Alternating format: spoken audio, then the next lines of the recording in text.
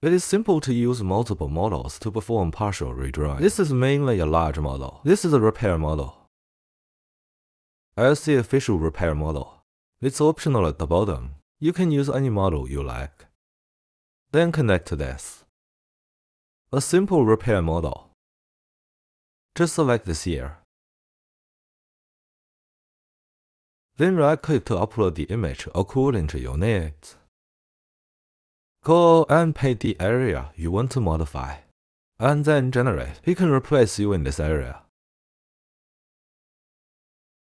This makes partial redrawing very convenient. Share this workflow on Joanna Cloud. You can directly turn on this local redraw.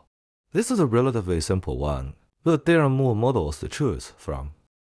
Sometimes when repairing, different models may be needed. Go directly to Joanna Cloud. Here, go to My Mirror, or locally, you can click on My Notes. Here is model installation methods and workflow.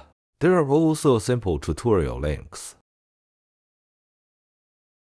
This repair is very convenient, mainly because you can choose any model you like. Click to go to the local redraw of the